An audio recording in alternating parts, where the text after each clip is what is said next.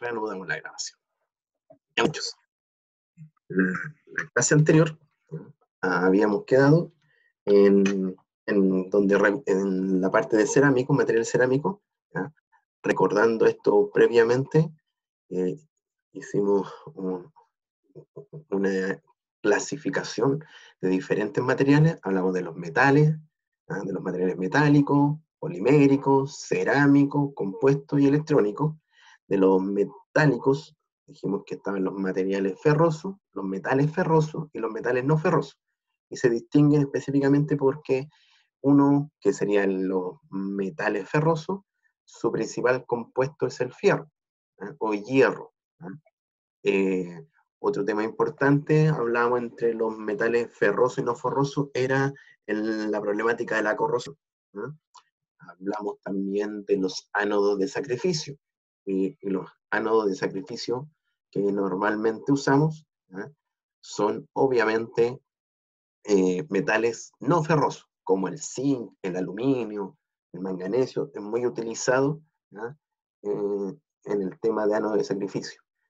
Yo encuentro muy importante el tema de los ánodos de sacrificio, por lo mismo les voy a subir una presentación, una PPT, como apoyo, no he evaluado, pero en caso de que tengan tiempo y quieran ver ahí un temita, eh, para que lo revisen en algún momento.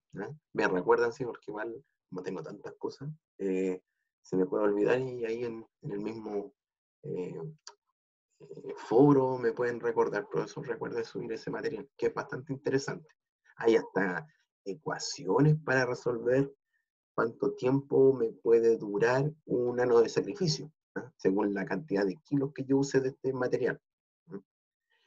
También hablamos de los poliméricos.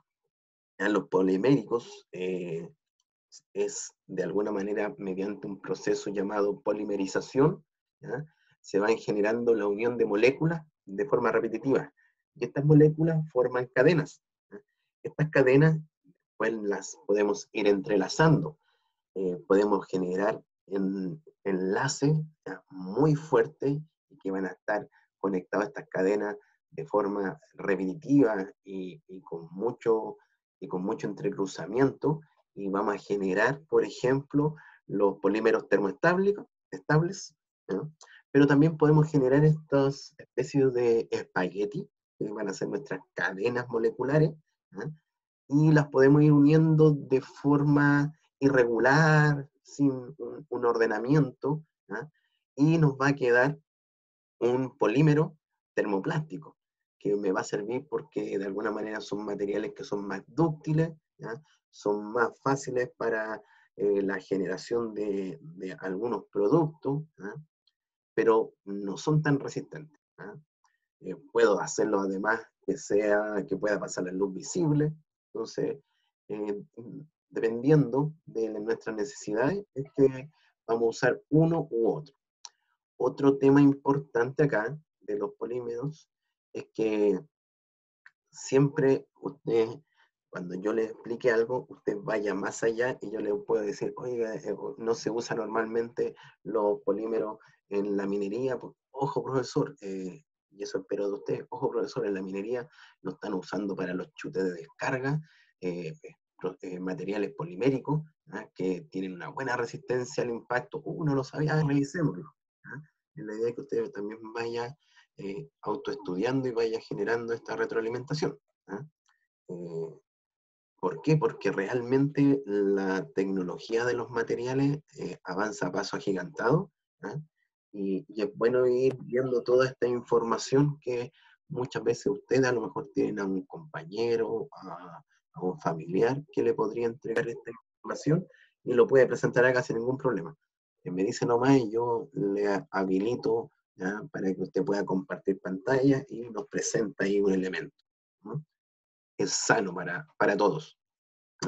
Aquí, aquí no quiero yo nomás ser la estrella del show, la idea que también ustedes participen y, y, sean ahí los, los que lleven eh, la batuta también en, en la asignatura para que se vean comprometidos con esto. Eh, tenemos materiales cerámicos, los materiales cerámicos también tienen eh, una, baja conductividad eléctrica y térmica, y esto lo, hace, al igual que los polímeros, muy resistente a, la electricidad de alguna manera y lo utilizamos como aislante, y lo utilizamos tanto como aislante térmico y aislante eléctrico. El problema del polímero, que si yo lo uso como aislante eh, eléctrico, eh, en, muchas situaciones, la electricidad obviamente va a generar una, alto, una alta temperatura. ¿ah?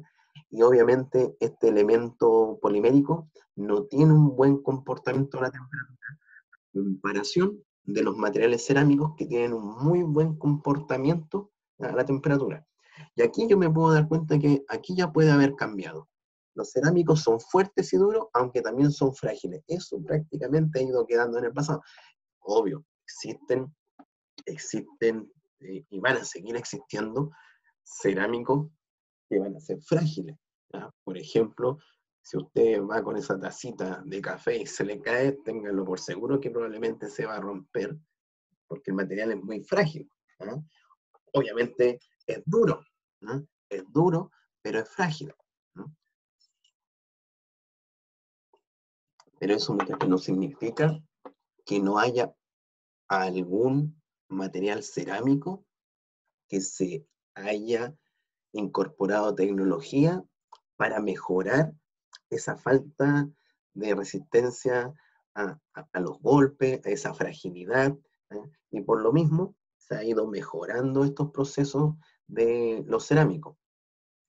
Eh, yo les comenté la vez pasada que, por ejemplo, eh, estos materiales son muy porosos, y eso igual es una ventaja porque por ejemplo, son utilizados para los catalíticos, no sé si les comenté, los, catalíticos de los automóviles al interior son de cerámico y capturan, por ejemplo, algunos óxido nitroso, que me imagino que ustedes saben el, problema que trae estos óxido nitroso ¿ah?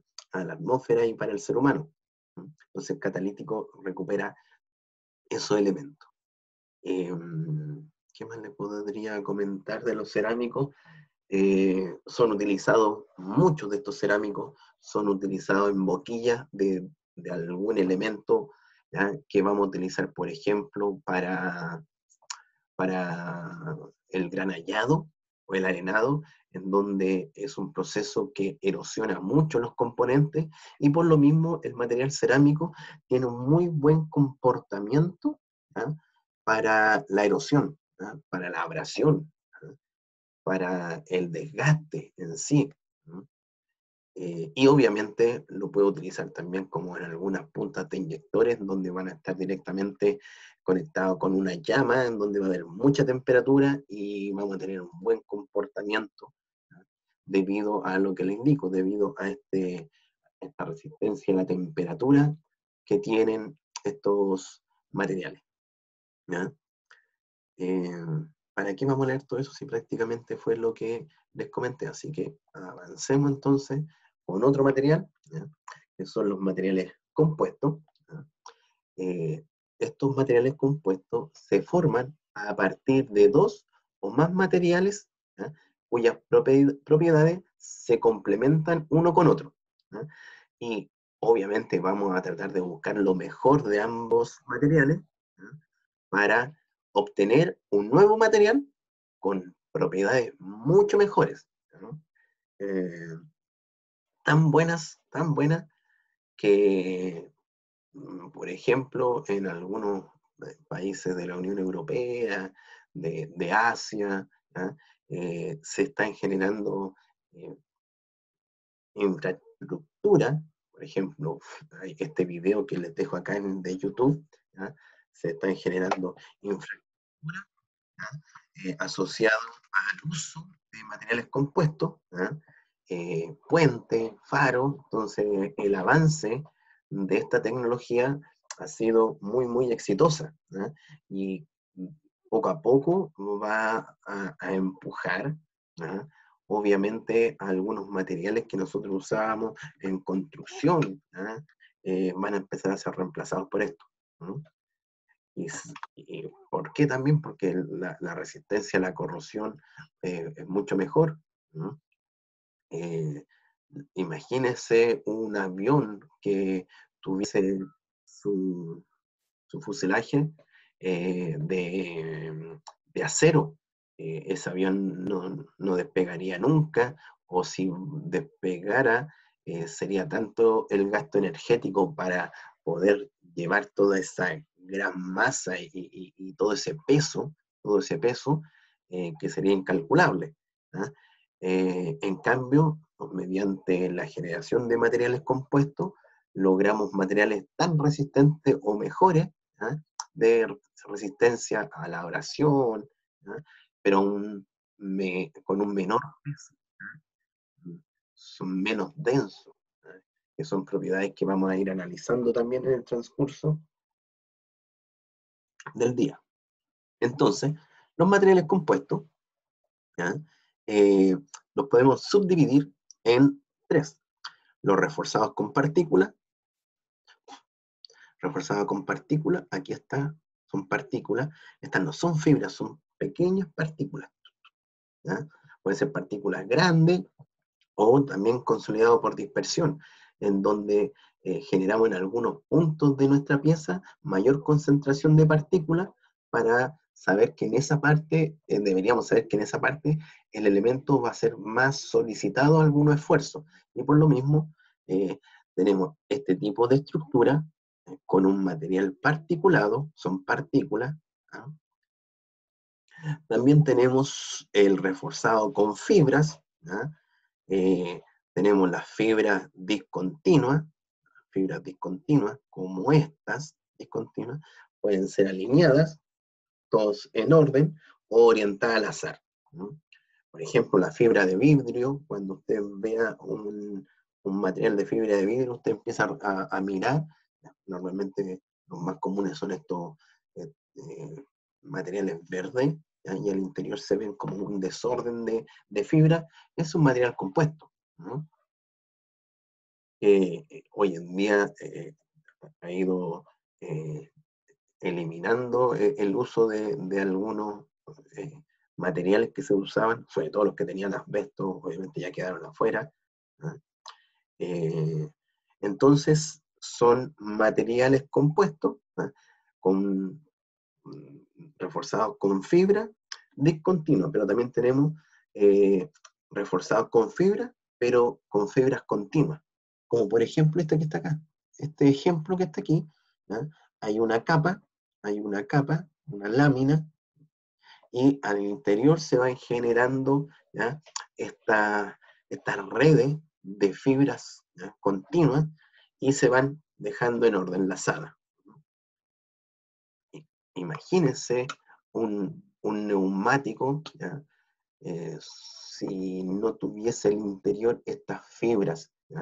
Si nosotros cortamos un neumático, nosotros vamos a ver al interior que tiene filamentos de acero y también tiene filamentos de textil, que le dan de alguna manera esta forma, eh, porque si fuese solamente el caucho e, e inflado, le digo desde ya que no durarían mucho y se deformarían eh, muy prontamente.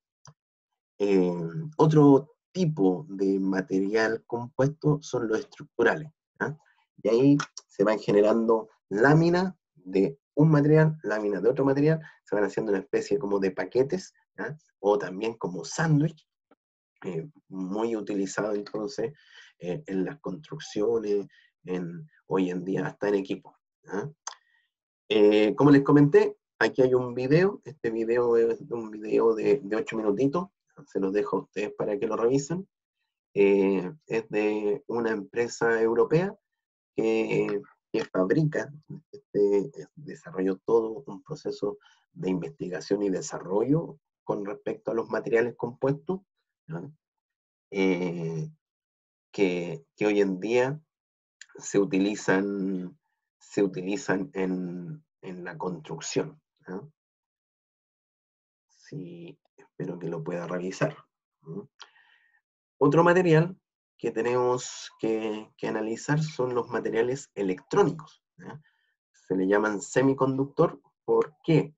Porque los materiales semiconductores tienen la, eh, la ventaja de que se podrían comportar como conductor o como aislante dependiendo algunos factores.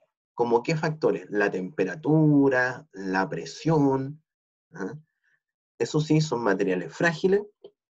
Eh, normalmente se utilizan en aplicaciones electrónicas, en computadores, en las redes de comunicación. ¿ah? Pero es un elemento que, por ejemplo, si yo le digo, mm, voy a poner un sensor que me indique cierta temperatura y a cierta temperatura que me corte el sistema. Esto se va a utilizar entonces este, este sensor en donde va a dejar pasar quizá una señal eléctrica cuando la temperatura está hasta el 80 grados Celsius y cuando eh, y por ende se comporta como un conductor hasta 80 grados Celsius. Si superamos los 80 grados Celsius, este elemento se transforma de inmediato en aislante y detiene esa señal eléctrica. ¿Ah? detiene esa señal eléctrica, por ende esa señal eléctrica podría estar conectado con un elemento que diga, ah, eh, eh, nada más de, generación de, temperatura, por ende apaga los inyectores, se apagan los inyectores. Empieza a bajar la temperatura y puedo tener otro sensor que cuando baja cierta temperatura se transforme en, eh, en conductor. Y así se manejan muchos, muchos equipos ¿ah? a nivel industrial, mediante sensores, eh, estos sensores están conectados en un PLC, este PLC como el cerebro, que dice ya, ahora que recibo esta señal, y esta señal la recibe de un material electrónico. Ahora que recibo la señal, bueno, abro esta válvula. Ahora que recibo esta señal, bueno, prendo los inyectores. Ahora que recibo esta señal, cierro la válvula. Abro, eh, vuelvo a encender los inyectores, etc. ¿ah? Así que, o abro más una compuerta, una válvula, ¿ah? porque esto también si sienten presiones, yo también lo puedo utilizar mediante como un factor que no sea solamente la temperatura, la presión, también puede hacer eh, esta transformación entre lo que es eh, aislante o conductor. Son como estos materiales piezoeléctricos que si yo lo genero presión o un esfuerzo a esta pieza, me da una señal eléctrica. No sé si han escuchado los string gauge. Los string gauge son eh, semiconductores. Eh, los, pongo, por ejemplo, en algunos elementos mecánicos que van a estar sometidos a esfuerzo. Y cuando genero esfuerzo, le pongo los sensores y digo, mira, aquí está mostrando que en esta parte, el, no sé si me ven, estoy apuntando como que se me estuvieran viendo. Entonces, eh, en esta parte del codo se generaron tanto, tanta presión, 50 eh, megapascal, pero en esta parte del brazo se generaron 70 megapascal. Ah, entonces tengo que poner más refuerzo acá. Se utiliza mm, mucho los strain gauge en, todo lo que son eh, análisis estructurales, eh, tanto de equipo, de, máquinas, de, de estructura, valga la redundancia. ¿ah? Así que ojo ahí con los strain gauge. Otro tema de los semiconductores que también lo utilizamos para generar energía eléctrica. Ahí hay un videito que explica más o menos cómo es el comportamiento de un material semiconductor. no es, no genera estas señales por presión o temperatura, sino que genera este movimiento de electrones por los fotones que recibe del sol. Y así nosotros podemos tener un panel fotovoltaico. Eh, llega un fotón proveniente del sol, toca en este panel, al interior hay un electrón, que este fotón lo empuja, ese espacio eh, queda hueco, entonces queda un hueco que más abajo hay un electrón que lo va a cubrir. Y como recibe otro electrón, otro fotón, vuelve a ver este movimiento y vuelve a ver, y ahí empieza a generarse todo un circuito eléctrico, y ahí generamos la electricidad mediante estos paneles. Revisen ese tema, aquí también les dejé ese link, está bastante interesante, sobre todo para los que les, guste el tema de, paneles fotovoltaicos y, de la generación eléctrica. Muy, muy necesario, muy necesario para muchas eh, faenas mineras, por ejemplo, que al interior no tienen iluminación. Hace, hace unos cuatro años atrás, habrá sido cuatro o cinco años atrás, junto con un profesor de su carrera que eh, en estos momentos está con licencia médica por un problema que, tuvo de salud, eh, con el profesor Gonzalo Garrido, Gonzalo eh, Bravo, Gonzalo, Bravo, viajamos a una, a una pequeña faena minera, muy pequeña faena minera, que era una mina subterránea. Y ellos estaban ya instalando paneles fotovoltaicos para iluminar, se habían ganado un, proyecto de estos regionales, estos FIT regional, eh, la posibilidad de, implementar mediante paneles fotovoltaicos la iluminación y la alimentación de algunos eh, equipos al interior mina, ¿ah? como ventiladores, los extractores, eh, y obviamente la iluminación. Ya muchachos, eh, siguiendo, vamos a ver ahora el átomo. Este, este, contenido para algunos se le hace más complejo, ¿ya? Para, para los que les gustó la química en el colegio se le hace más sencillo, pero ojo, esta asignatura no es una asignatura química, pero es importante que se reconozca esta parte. Nosotros después, esto lo vamos a demorar media hora, pero lo que le vamos a dar más importancia es a las propiedades físicas y mecánicas de los materiales. Pero esta parte de las propiedades químicas, igual lo tenemos que comprender. Igual se tiene que comprender. No va a ser la base, no va a ser la base, obviamente, de lo que vamos a evaluar durante el año. Quizás van a haber algunas preguntitas de esto en el primer certamen, pero las mínimas con respecto a todo lo demás. ¿ah? Eh, pero eh, porque a muchos se le hace muy, muy engorroso el tema de los diferentes tipos de enlaces, etc. Que es el átomo. Acá tenemos un átomo, tenemos su núcleo y su corteza. Eh, el núcleo está compuesto por protones, protones estos rojitos.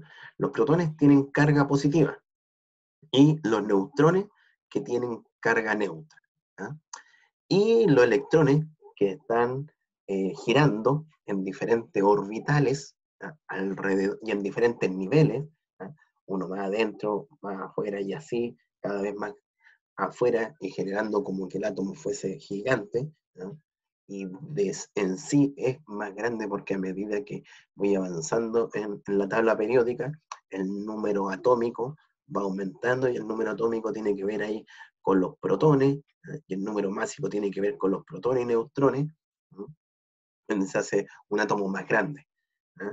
Eh, el electrón tiene carga negativa, el electrón tiene carga negativa.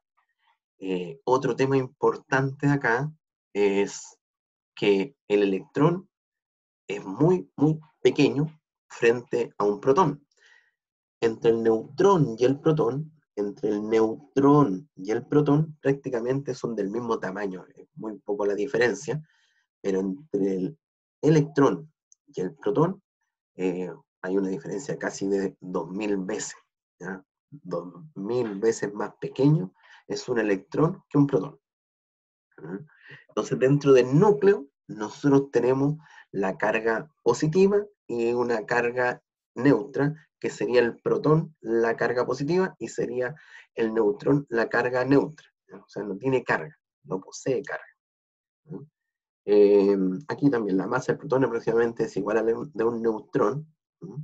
Todos los átomos de un elemento químico tienen en el núcleo el mismo número de protones, el mismo número de protones. Y ahí vamos a ver que algunos pueden tener diferente cantidad de neutrones o electrones, pero eso vamos a ir viendo a medida que vamos avanzando. Este número de protones es el que caracteriza a cada elemento y se distingue y lo llamamos el número atómico. el número atómico. Y se representa con una Z. Se representa con una Z. Cuando veamos un elemento, por ejemplo, esto, aquí va a aparecer un numerito que va a ser nuestro Z. Ah, profe, entonces, ahora. Ese es mi número atómico correcto. Y acá arriba va a aparecer otro numerito que va a ser el número másico. Pero vamos paso a paso. Entonces, la corteza es la parte exterior del átomo, en donde se encuentran los electrones y estos tienen carga negativa. Si yo tengo la misma cantidad de protones y la misma cantidad de electrones, puedo decir que mi átomo es estable y no tiene carga. ¿ya? Pero cuando, le, cuando falta uno, un electrón, ya puede tener una carga y puedo hacer un trabajo obviamente con ello.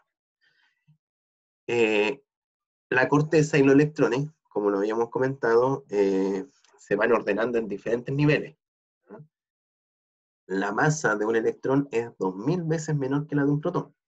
Los átomos son eléctricamente neutros debido a que tienen igual número de protones y electrones. ¿Ok? Tal como le he comentado. Estos electrones giran, orbitan el núcleo a mucha velocidad, a diferentes niveles. Entonces, eh, y se ven diferentes orbitales. Entre ellos, obviamente, entre los electrones no, no se topan, están girando así como la Tierra y la Luna. ¿Cómo se estructura eh, estos elementos? Eh, tal como le indiqué, tengo un elemento, en este caso el sodio, Na, abajo va a estar el número atómico, arribita va a estar el número másico. ¿Qué me indica a mí el número atómico? El número atómico a mí me va a indicar, este va a ser nuestro elemento, este va a ser Z. Ah, profe, usted dijo que Z iba a ser el número atómico. Exacto. Y el número atómico me va a indicar la cantidad de protones que tiene el elemento. Cantidad de protones. Ah, estos protones son estos elementos que tenían carga positiva. Correcto. Correcto. Y el número másico, el número másico A va a ser el número de protones más el número de neutrones. Entonces, el número másico es la suma de protones y neutrones. No he, no metido aquí los electrones por si acaso. El número másico es la cantidad de protones y neutrones. Cantidad, no peso, nada, la cantidad. ¿Cuántos hay? Em, la suma del número de protones y neutrones de un átomo recibe el nombre de número másico. Ahí está, tal como habíamos indicado. O sea, este 23. Y se representa con una letra A llamamos isótopos a las formas atómicas de un mismo elemento, formas atómicas de un mismo elemento que se diferencian en su número másico. ¿ah? Entonces, por ejemplo, puedo tener Na 11 y 23, puedo tener Na 11 y 24, o 22. ¿ah? Esos son isótopos. ¿Por qué? ¿Por, qué dejé de compartir? Ahí, volví. Eh, ¿Por qué? porque se diferencian en su número másico. ¿eh? Y recuerden, su número másico, el número de protones de estos isótopos siempre va a ser el mismo. Si estamos hablando de Na, siempre va a tener la misma cantidad de protones, lo que puede ir variando la cantidad de neutrones. Para representar un isótopo hay que indicar el número másico A, propio del isótopo, ¿eh? y el número Z, que es propio del elemento. Na siempre va a tener 11 aquí. Y eso lo podemos ir viendo en la tabla periódica. Entonces puedo tener dos elementos, dos elementos, eh, y estos elementos pueden enlazarse entre ellos. pueden enlazarse entre ellos. Entonces vamos a tener tres diferentes tipos de enlaces. El enlace iónico, el covalente y el metálico. Cada uno de ellos eh, con diferente forma, diferente capacidad de resistir que estén unidos, van a generar diferentes estructuras. Algunos van a generar estructuras más cristalinas, los otros van a generar estructuras más compactas. Eh, y finalmente, esta unión depende obviamente de la energía de atracción atómica que tengan entre ellos. Entonces tengo que tener un átomo, un ion positivo con un ion negativo, y ellos se van a juntar tal como usted junta un imán. Existen, aquí está, existen los tres tipos principales de enlace, iónico, covalente y metálico. ¿Por qué dos elementos se deben enlazar o por qué se enlazan principalmente? ¿Por qué se genera este enlace? Principalmente se enlazan porque ellos buscan, ellos buscan la, la estabilidad. Ellos buscan la estabilidad de... Deme dos segundos.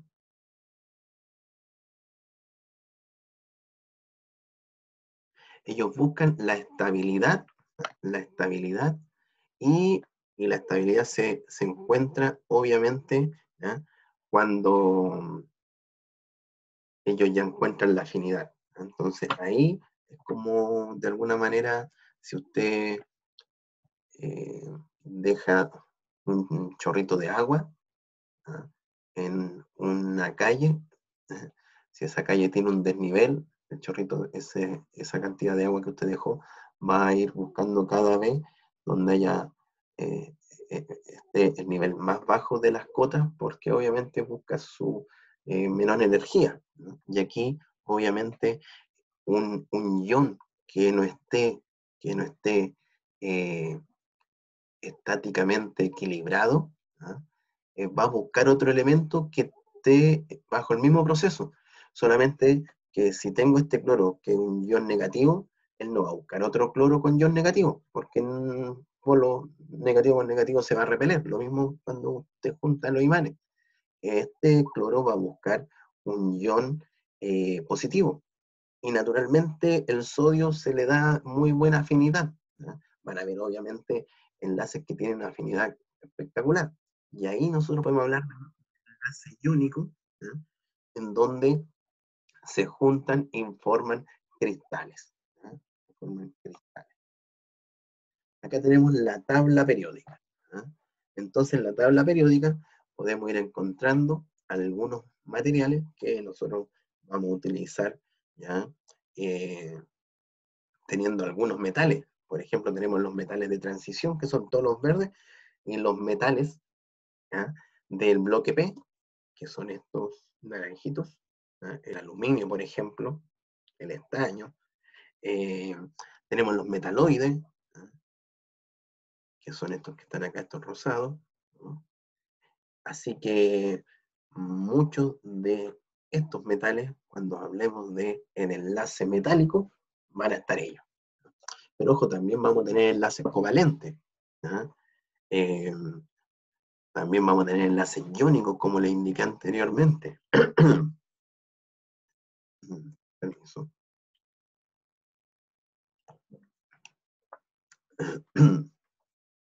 Por ejemplo, el hidrógeno con el carbono tiene una muy buena afinidad, en donde ahí se van generando mediante enlaces covalentes. ¿ah? Enlaces covalentes eh, se generan eh, metano, etileno, ¿ah? según cómo se vayan eh, generando eh, en el proceso de obtención de petróleo. Aquí tenemos eh, hidrocarburos, obviamente, solamente que después lo refinamos, lo llevamos a, que sea un petróleo o un aceite o más arriba con benzina o hasta, hasta combustible para aviones, que ese ya es lo más top del proceso refinado del, del petróleo. Acá tenemos del grupo 1, del grupo 2, nos saltamos acá el grupo 3, 4, 5, 6, 7 y 8. ¿Por qué indico esto? Porque eh, cuando hablemos de los enlaces iónicos covalentes, eh, toma referencia eh, con qué se pueden unir, por ejemplo, el, el hidrógeno o el litio con alguno de estos que están acá. Entonces, a continuación, vemos en primer lugar el enlace iónico. El enlace iónico que acabamos de hablar anteriormente, eh, en donde tenemos, de, dos segundos que moví algo aquí, volvíamos. Eh, ya. Acá, acá, acá, En donde eh, el enlace iónico tengo un átomo de cloro, un átomo de sodio. Y esta molécula, que es la típica sal común, esta molécula eh, se transforma entonces en una molécula de sodio y cloro, que es la sal común. Pero ¿por qué se da este enlace? ¿Y qué tipo de enlace? Es un enlace iónico. Nos damos cuenta que el Na tiene una, un electrón en su último nivel, y en su último nivel no completa, ¿ah? está, está, un puro electrón dando vuelta. Entonces, este átomo busca algún elemento que pueda darse esta afinidad, por ejemplo, el cloro, que en el caso del cloro eh, no cumple los ocho electrones en el último nivel. Tiene uno, dos, sí, tres. Ah, perdón. Dígame. Dígame nomás. La escucho. Ahí es cuando van a hacer la compartición porque no cumple la estabilidad del el ¿no? Exactamente. va a ser el que le va a dar el electrón para poder cumplir, ¿o no? Y ahí, y ahí por fin se va a estar, se va a sentir estable. ¿ah? ¿Por qué? Porque en este momento el cloro es inestable. y Le falta ese espacio, ese 8 que lo puse como signo de pregunta. ¿Dónde está este electrón? No lo tiene. Él no puede crear otro electrón. Por ende, sale a buscar en el mundo quién puede llenar ese electrón, ese vacío. ¿ah? Entonces, nuestro pobre átomo siente un vacío y se encuentra con este eh, átomo de sodio que dice, ah, yo me junto contigo. Y se enlazan, ¿ya? Y este enlace, más que nada, es un enlace de atracción electroestática, ¿ya? Es, prácticamente cuando usted quiere juntar dos imanes. Por lo mismo, usted ha juntado dos imanes probablemente y después los suelta. Estos también son fáciles de soltar. Eh, no todos sí, pero la gran mayoría eh, los puedo separar fácilmente. Los puedo disolver. Por ejemplo, la sal con agua, usted los puede disolver. Se separan eh, de alguna manera. Entonces, enlace iónico es la unión que resulta de la presencia de fuerzas de atracción electroestática entre iones de distintos signos. Por ejemplo, yo no puedo, si este fuese negativo y este negativo, no se van a unir este fuese positivo y este positivo no se van a unir. Necesito que uno sea negativo y uno positivo. Iones. Si este tuviese, por ejemplo, el cloro, que no es el caso obviamente, eh, imagínense que este no existiera y fuese también, tuviese ahí un hueco y el 1 no existiera. Él no va a buscar solamente un átomo de sodio o un átomo de lo que fuese que tuviese un electrón libre, tendría que buscar otro átomo que en su último nivel también tuviese uno libre y ahí se junta. Y ahí tendríamos una, una molécula con una de cloro y con dos de el material correspondiente. Pero también podría ser que, eh, dando otro ejemplo obviamente, que, que se puede dar, por ejemplo, que este también tenga este vacío, y venga otro material, no este, sino que otro material que tenga dos, y se unen. También se puede dar. Eh, de esta manera, el enlace se suele producir entre un no metal electronegativo y un metal electropositivo. Suele dar, también se pueden dar otras uniones. Ojo, la atracción electrostática entre iones de carga opuesta causa que se unan y formen un enlace. Los compuestos iónicos forman redes cristalinas, ahí está como les comenté en la forma de la sal, construida por iones de carga opuesta unidos por fuerza electrostática. Em, este tipo de atracción determina las propiedades observadas. Si la atracción electrostática es fuerte, se forman sólidos cristalinos de elevado punto de fusión. O sea, para, para poder romper su red cristalina nos va a costar mucho porque tenemos que generar mucha energía para poder eh, pasarlo a, a, fusionarlo. Y algunos son insolubles en agua, como otros son solubles en agua, ojo ahí, como la sal común. Eh, el enlace iónico entonces se producen entre elementos del grupo 1 y 2. Ah, ¿Cuál eran esos? Esto, 1 y 2. Ahí tengo el Na, ahí tengo el Na, aquí tengo el litio, que también se genera fácilmente el litio. Y por este lado tengo el cloro. Mire dónde está el cloro, en el grupo 7. Recuerda eso, Na en el grupo 1 y cloro en el grupo 7. Entonces dice, se producen los elementos del grupo A y grupo 2, con los elementos del grupo 6 y el grupo 7. Ahí está el cloro. Entonces tengo eh, el átomo de sodio con un electrón libre en su último nivel.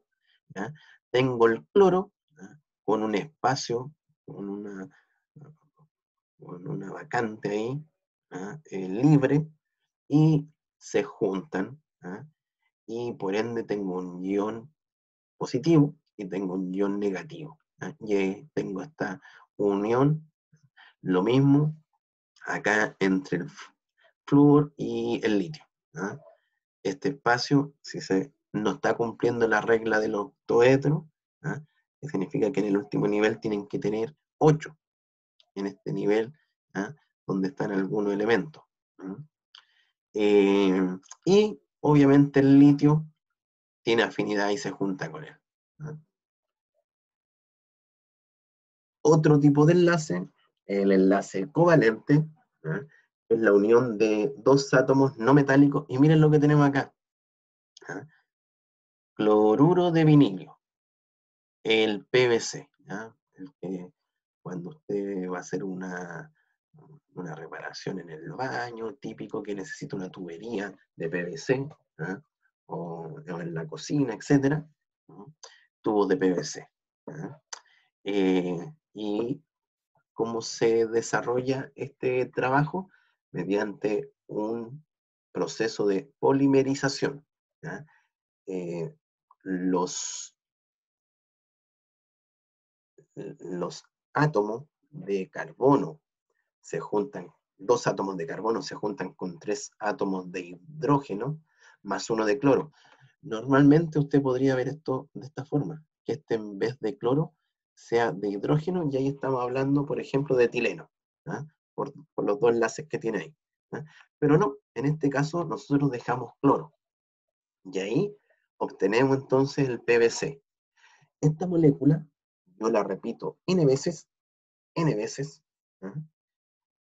Y empiezo a generar cadenas. Y estas cadenas las voy uniendo entre ellas y las voy enlazando de forma eh, entrecruzada para formar lo que es el PVC, que es un elemento muy resistente. Y por lo mismo logro tener este elemento más sólido. Y si fuese un H acá, tendría un carburo. Em, no existe atracción electroestática entre estos dos átomos. La situación es totalmente diferente en el enlace iónico, pues en este caso dos átomos se unen más íntimamente. Aquí se puede ver esta unión. ¿ah? Es decir, ambos comparten algo en común y lo común entre estos átomos es un electrón ubicado en la capa más externa. Los electrones de enlace, son, de enlace covalente son compartidos por ambos átomos. Y se puede ver que aquí se van uniéndolo. Lo que hace que el enlace covalente es que los dos átomos no metálicos comparten un electrón, es decir, se unen por uno de sus electrones del último orbital, el cual depende del número atómico del átomo que estemos hablando. Entonces, ojo acá, muchachos. Ah, acá se produce entre átomos que le falta hasta cuatro electrones para completar la regla del octoedro. Por ejemplo, si nosotros nos, vamos a la, tabla periódica, me voy a devolver a la tabla periódica, recuerde, CH4, no C, C el carbono obviamente, aquí está, carbono. Está aquí, ¿cuánto le falta para llegar acá? 1, 2, 3, 4. O sea, tiene 4, le faltan 4 electrones para cumplir la regla del octoedro. Entonces, en estos cuatro, en estos cuatro espacios faltantes, dice, oye, yo tengo aquí cuatro espacios que me están faltando, bueno, se acerca el hidrógeno, que el hidrógeno, hay mucho hidrógeno en el universo, y se completa. Y tengo entonces una molécula, una molécula de carbono, o sea, una molécula de un átomo de carbono y cuatro átomos de hidrógeno. Y ahí obtengo el metano. Y esto yo repito esta molécula n veces y obtengo entonces un polímero. Profesor, entonces los hidrocarburos son polímeros, correcto. De alguna manera mediante estos procesos obtengo n eh, veces la repetición de esta molécula. Eh, el etileno, ¿ah? si se observa, tiene la, eh, la forma en donde estoy juntando, espérame, espérame, espérame, estoy juntando, estoy juntando acá dos moléculas de carbono. No es una. Aquí en el, en el metano es, una, es un átomo de carbono. Es uno. Acá son dos. ¿ah? Y recuerda, este tiene ahí, ahí, ahí, ahí. Este carbono, este también era carbono. Este tiene ahí, ahí, ahí, ahí. Lo primero que hacen es, ah, yo me junto con este espacio que tú tienes ahí, y yo me junto con ese espacio que tienes ahí. ¿ah? Y acá no busco otro, no busca otro carbono, sino que busca un hidrógeno. ¿ah? Ah, me, me, me, me, faltó, me faltó. Aquí son, aquí van a estar ahí, ahí. Sí, porque estos, estos dos forman este enlace que les digo que ahí, ahí, ahí, y se genera hasta un ángulo en 120 grados acá. Entonces, 1, 2, 3, 4. Los cuatro electrones que le faltan para completar. Entonces, aquí se junta con ese, aquí se enlaza con ese, y aquí lo completo con los hidrógenos que estaban faltando. Y tengo una molécula de etileno. Obviamente, según el orden que aparece acá, esta, este enlace se, se genera así para, pero en definitiva, lo que usted ve acá, eh, ¿cómo lo describo?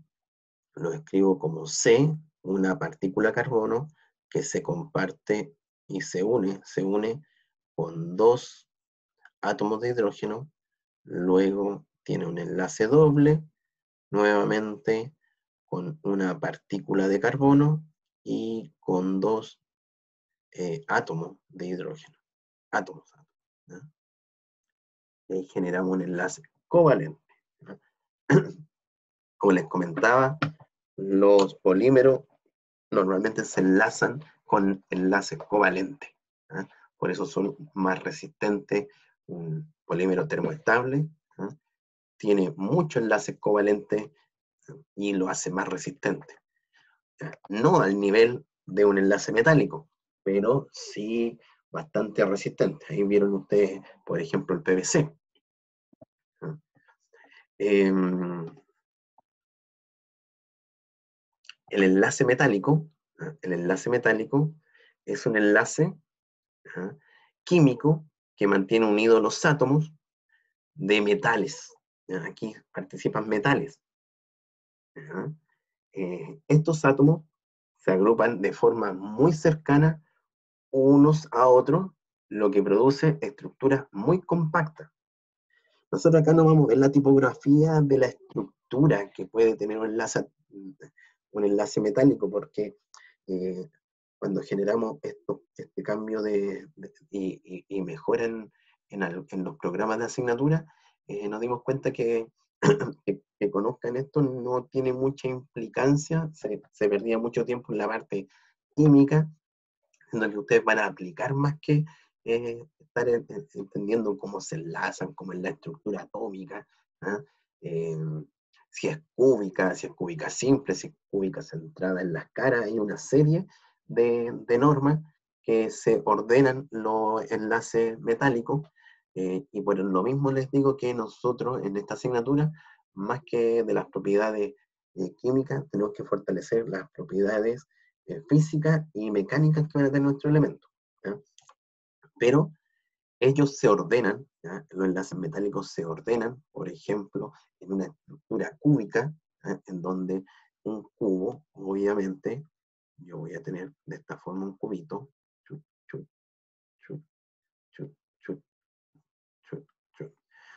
eh, aquí con otro color.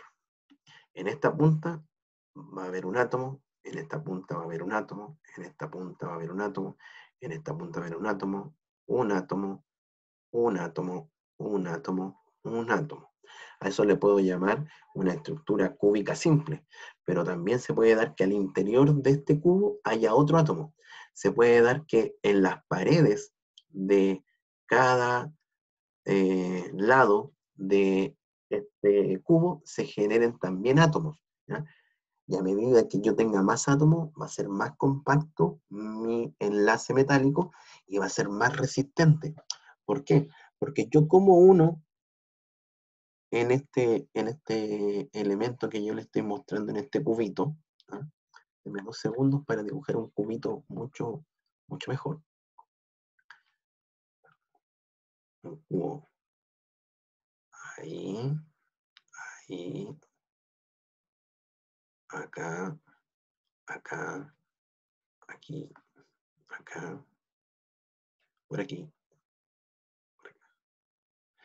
Eh, ahí arriba y al lado. ¿ah? Entonces, muchachos, acá voy a tener un átomo. Voy a tener otro átomo.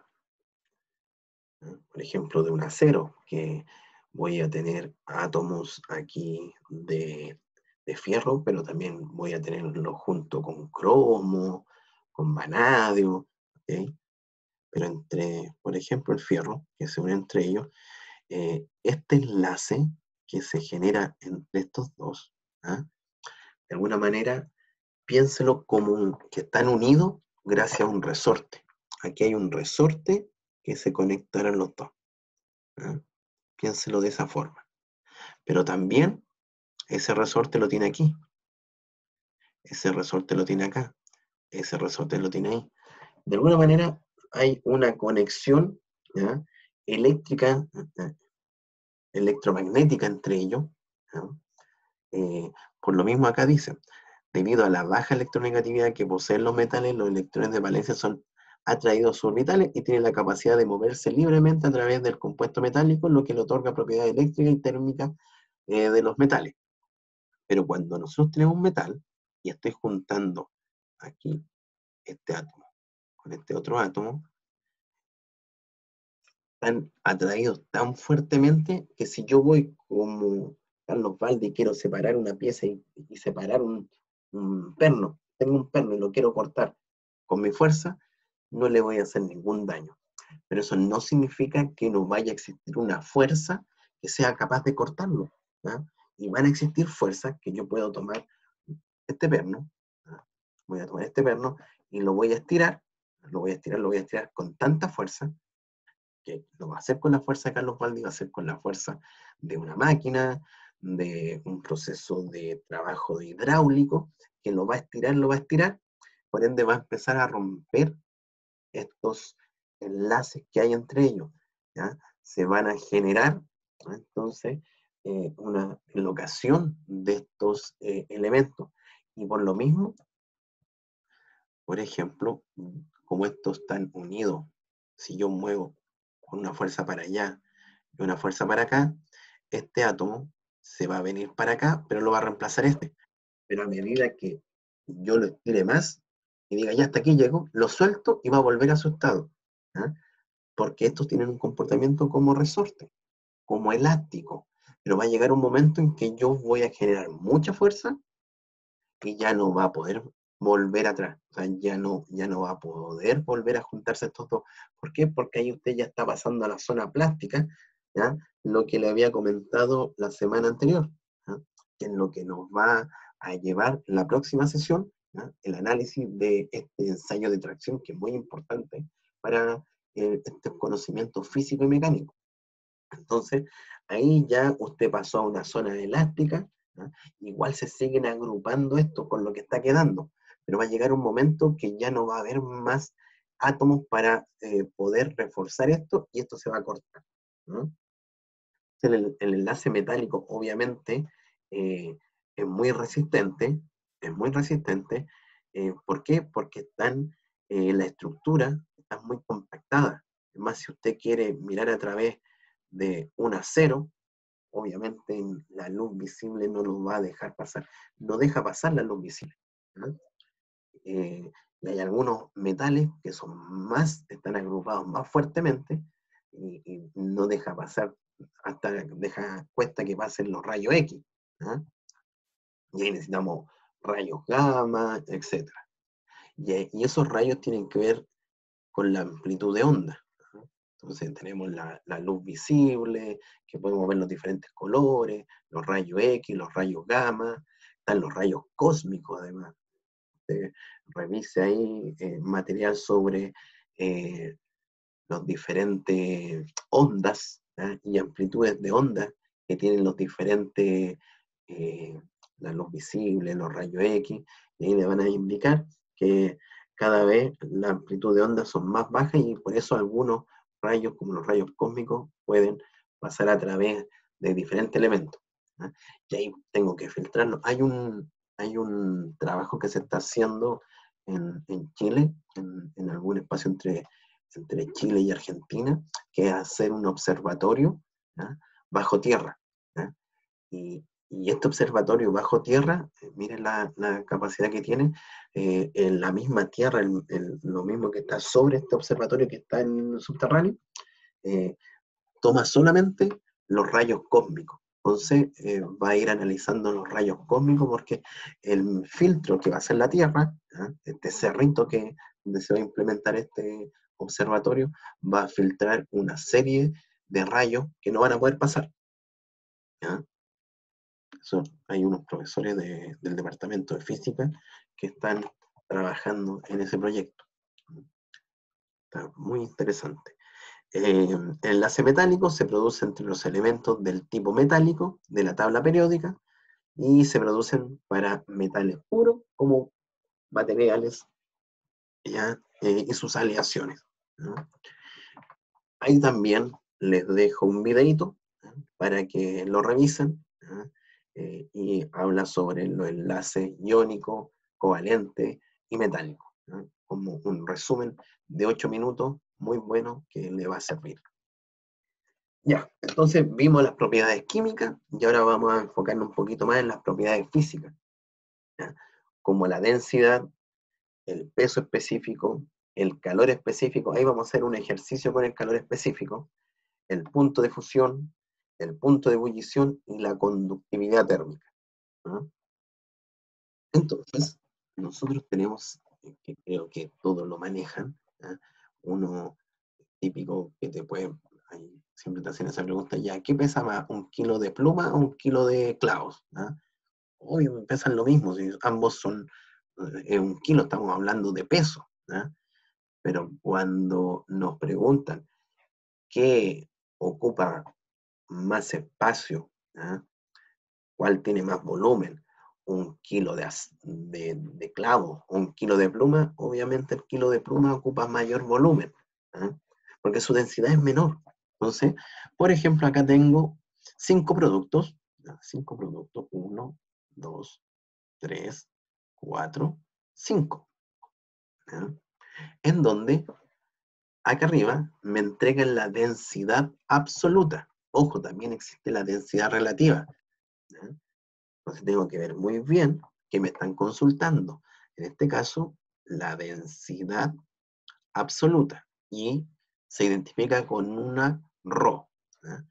Y la densidad en la masa, en la masa dividido el volumen. El volumen. Algunos libros, oh, algunos libros eh, ojo hay que el volumen lo indican así. Pero aquí lo dejamos como volumen, ah, como una V mayúscula. La densidad absoluta, también llamada densidad real, es la relación entre la masa de un cuerpo respecto al volumen que ocupa él en el espacio. Entonces, por ejemplo, tengo la densidad, vamos a los numeritos arriba, tengo la densidad del oro que es 19,3 gramos por centímetro cúbico, o sea, en un centímetro cúbico, en un centímetro cúbico bien chiquitito, un centímetro cúbico, yo de oro ¿ah? tengo 19.3 gramos. 19.3 ¿ah? gramos. Aquí tengo un kilo de oro. Es, una, es un elemento muy compacto. muy compactos, sus átomos están unidos muy, muy entrelazados. Es un enlace metálico. Eh, su densidad es enorme, de 19.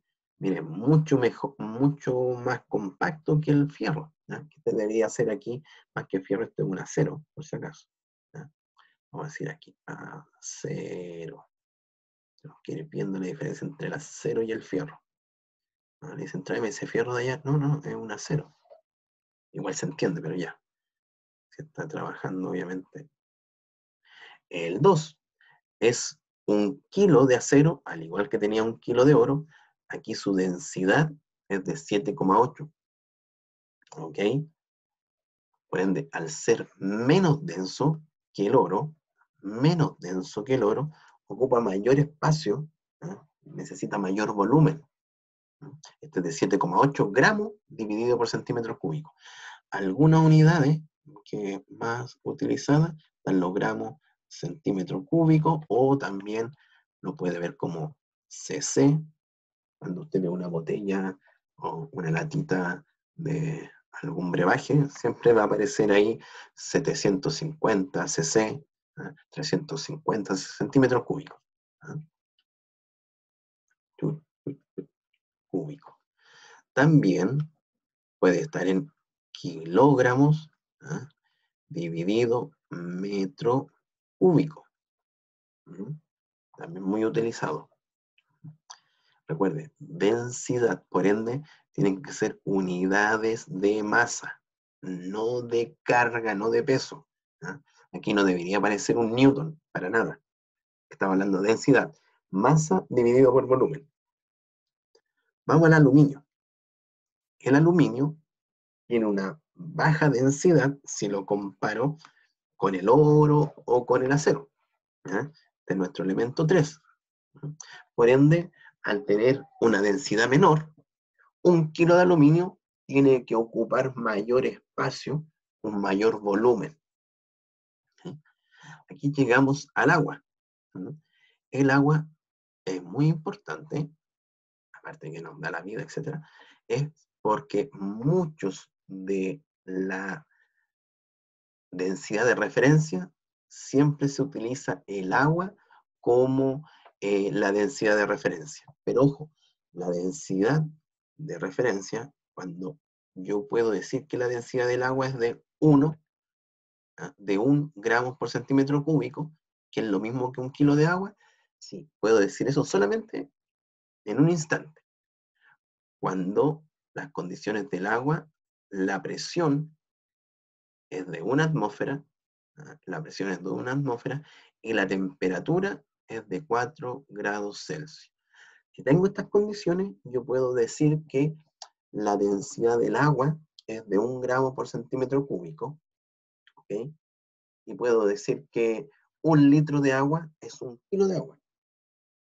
Un litro de agua es un kilo de agua, siempre y cuando esté a una atmósfera. Una atmósfera, ¿dónde encontramos? Una atmósfera la encontramos a nivel de mar. ¿ah? A, nivel de costa, yo tengo una atmósfera. Si yo eh, me voy a la cordillera, subo la cordillera, estoy a, está ahí en el Everest, a 8.000 metros. Digamos que estamos en, en Andina, a 5.500 metros sobre el nivel del mar, ahí la presión no va a ser de una atmósfera. ¿ah? Ahí la presión va a bajar. ¿ah? La presión en la cordillera es menor ¿ah? que en la costa.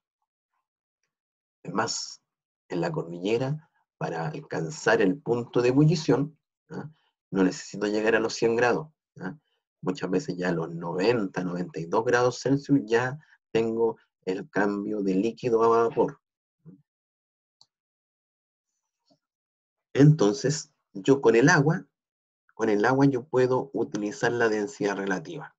La densidad relativa expresa la relación entre la densidad de una sustancia y una densidad de referencia, resultando una magnitud adimensional. ¿sí? Porque estoy dividiendo una densidad con otra densidad, donde ρr es la densidad relativa como resultado, ρ es la densidad absoluta, que puede ser de cualquiera de ellos, del oro, de la, del acero, y ρ cero es la densidad de referencia, que en este caso utilizamos la densidad de referencia del agua líquida cuando está a una atmósfera de presión y a una temperatura de 4 grados Celsius.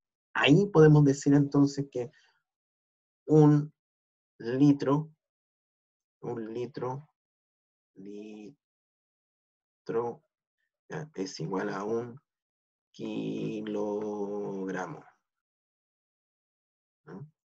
Y por lo mismo, ahora, si estamos a 20 grados Celsius, la diferencia es muy pequeña. Igual uno puede asumir para nuestros cálculos la densidad igual a 1. A excepción que tengamos que hacer un cálculo muy preciso en donde necesitemos valores exactos. Pero, por ejemplo, si yo tengo un, camión cisterna y tengo que transportar eh, agua y... Ay, quedó parecía un camión cisterna, ¿ya? Y me dicen que acá tiene la capacidad de 4 metros cúbicos. Este camión cisterna tiene 4 metros cúbicos. ¿Cuál sería la carga que tiene que transportar entonces? Solamente de agua, porque obviamente tengo que hacer los cálculos del estanque, del chasis, etc. Pero en este caso, solamente de agua. Usted puede decir, ah, son 4.000 kilogramos, o sea, 4 toneladas. Eso es lo que pesarían 4 metros cúbicos. ¿Ok? Y tengo elementos, y tengo elementos que sean menos densos que el agua, claro que sí, tengo una enormidad ¿ah? eh, de elementos más denso que el agua. Aquí, por ejemplo, tengo la madera, que aquí no se ve muy bien, pero el, el valor que aparece ahí es punto 50. Aquí debió haber puesto un 0. 0.50 gramos dividido centímetro cúbico. Obviamente 0.5 es menor que 1. Por ende, si yo tiro esta madera sobre un lago, esa madera obviamente va a flotar. Si tuviera un aceite, aceite de una densidad de 0,958, este aceite se va a mantener sobre el agua. Y ahí usted puede hacer una serie de ensayos. Cuando está en la cocina se da cuenta de que nunca cuesta mucho poder unir, obviamente, el agua con el aceite. Y por lo mismo, necesito para un kilo de madera, ¿ah? para un kilo de madera, necesito mayor volumen de espacio, ¿ah? debido a que su densidad es menor. Solo por eso. Ahora, si yo tiro una pieza de aluminio Al, a un río, a un lago, obviamente se va a hundir. Ojo que igual también eh, dependiendo de las presiones de, de, del elemento y la forma, ¿ah? si yo tiro una plaquita de aluminio y la dejo encima, no se va a hundir, porque eh, eh, la fuerza de empuje que tiene el agua también hace su trabajo, pero estoy poniendo en un caso muy hipotético, normalmente si usted tira esta pieza, un kilo, ahí obviamente se va a hundir. Se va a hundir, porque tienen densidades diferentes. El peso específico. El peso específico es la relación entre la fuerza gravitatoria que actúa sobre un cuerpo respecto al volumen que ocupa este. Y nosotros, eh, en, esta asignatura, en esta asignatura, como en resistencia, que vamos a ver el, en, en dos semestres más, que probablemente voy a seguir yo siendo el profesor de resistencia, este valor, ah, no, no, no se llama resistencia, ustedes tienen mecánica técnica, que nos vamos a ver el próximo semestre. Así que mucho mejor. Sería el valor de 9,81 metros segundo cuadrado. Esa es la aceleración de la gravedad y obviamente este valor va cambiando, va cambiando si lo tomo en los polos, si lo tomo en Chile, si lo tomo en el Ecuador, etc. Varía. Y yo qué voy a tener en este caso, el peso específico, peso específico, nosotros lo señalamos con una letrita llamada Rho. Esa me quedó mejor, no me gustó la anterior. Rho. Y Rho, y Rho va a ser igual a la densidad. Dije Rho, no, pues este es gamma, sorry. Este es gamma, gamma, y este es Rho. Ahí sí. Mil disculpas. Entonces tengo gamma, que me indica el peso específico, rho, y a este rho, que era la densidad, densidad que lo explicamos anteriormente, en la densidad, lo multiplica usted por la aceleración de la gravedad. Entonces ahí, lo que tiene, usted dice, ah, pero profe, usted me dijo que Rho era la masa o dividido el volumen. ¿Sí? Correcto. Y si esto lo multiplicamos por la gravedad, ¿ah? la masa tiene unidad de kilogramo. Y la gravedad tiene la unidad de metro dividido segundo cuadrado. Es un, muchacho, un kilogramo por metro segundo cuadrado es igual a un newton, que es una unidad de fuerza, de carga, de peso. ¿ah? Entonces, esto que tengo acá se transforma en un peso dividido por el volumen. ¿Qué unidades utilizamos acá? Por ejemplo, Newton, eh, Newton metro cúbico. Newton metro cúbico. Eh, libra pulgada cúbica. Libra también es una unidad de fuerza. Entonces, a partir de la densidad, si yo la densidad la multiplico por la gravedad, voy a tener el peso. Esto, muchachos, es el peso, que es la masa por la gravedad. W, W, que es el peso, peso, no específico, peso nomás, va a ser igual a la masa por la gravedad. Lo pongo con esa flechita porque es un vector. ¿ah? Es un vector la gravedad. Que tiene sentido. Al igual que el peso, el peso también va a tener sentido. Si estoy multiplicando un vector con un escalar, esto me quedaría como un vector. ¿Y por qué, profesor, tiene un vector eh, el peso? Sí, porque el, peso no solamente te indica eh, la magnitud, sino también una dirección. El peso apunta al centro del planeta, por ejemplo.